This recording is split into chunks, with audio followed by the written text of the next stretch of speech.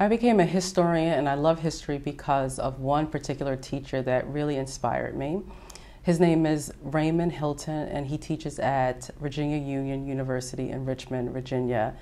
And he was really um, infectious uh, in the classroom in terms of telling history. This was a professor who actually put you on the battlefields of the Civil War. This was someone who really um, brought to life history. And this is someone who also encouraged me as a student and affirmed my abilities to become a historian.